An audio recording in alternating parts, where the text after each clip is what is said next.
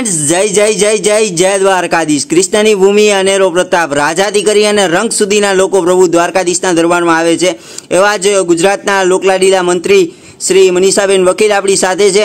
બેન, ખાસ જ્યારે આજ પ્રભુ દ્વારકાધીશના દર્શન કર્યા, શું આપનો અને કૃષ્ણનો નાતો છે અને શું પ્રાર્થના રહી ઠાકોરજીને? પહેલાં જય જય જય દ્વારકાધીશ થઈ જાય. જય જય જય જય દ્વારકાધીશ. આજે દ્વારકા ખાતે આવવાનું થયું છે અને ભગવાન દ્વારકાધીશને રાજ્યની પ્રજા અને રાજ્ય માટે સુખાકારી માટે મેં પ્રાર્થના કરી છે. અને આજે એક વિઝિટ જામનગર ખાતે પણ છે. અહીંયા પણ વિભાગના આંગણવાડીના કેન્દ્રો પર પણ વિઝિટ કરવામાં આવશે. સાથે સાથે કંબોડિયા પણ જવામાં આવશે. અને એક માહિતી માટેની એક નાની બેઠક જામનગર પણ ત્રણ વાગે રાખવામાં આવી છે. આજે મને ખૂબ આનંદ થયો છે. દ્વારકા આવી છું અને ભગવાન દ્વારકાધીશના ચરણોમાં પ્રાર્થના પણ કરી છે કે બધું જ જે વિચાર્યું છે રાજ્ય માટે સંપૂર્ણપણે બધું જ સારું થાય એવી મેં પ્રાર્થના કરી છે અને આ કોરોના કાળનો સમય પણ જતો રહ્યો છે. હવે સુખ સમૃદ્ધિ આખા રાજ્યમાં આવે ને લોકો આગળ વધી શકે એની માટે પણ પ્રાર્થના કરી બેન ખાસ જ્યારે દ્વારકાધીશ માટે એવું કહેવાય છે કે માગો વીસ અને આપે એકસો વીસ એ આપણા સૌનો દ્વારકાધીશ છે. કરોડો કૃષ્ણના ભક્તો છે.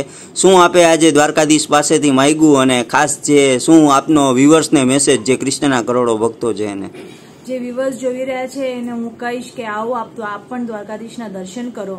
અને હવે ઉચિત સમય છે, કેમ કે બે વર્ષ ઘણા લોકો ઘરની બહાર નથી નીકળી શક્યા. અને હવે જ્યારે આપણી વચ્ચેથી લગભગ કોવિડની વિદાય થઈ ગઈ છે, ત્યારે આપ આવો અને અહીંયા પણ જે આજુબાજુની જગ્યા જોવાલાયક છે, એનો પણ પ્રમોશન મળે એના માટે થઈને પણ અહીંયા બેન, ખાસ જે દ્વારકાના વિકાસની જે વાયુ વેગે વિકાસ દ્વારકાનો થયો છે, આજ દ્વારકાની વિઝિટ શું કહેશો વિકાસ બાબતે? ચોક્કસપણે હું જ્યારે આવતી હતી ત્યારે પણ મેં આ સેતુ બાંધેલો છે, એ જોયો છે. સાથે સાથે શિવરાજપુર જે બીચ જે બીચ છે અને એ બ્લુ બીચ તરીકે પણ એને જ્યારે નામના મળી છે ચોક્કસપણે ત્યાં પણ હું બપોરે જવાનું ઈચ્છા રાખું છું.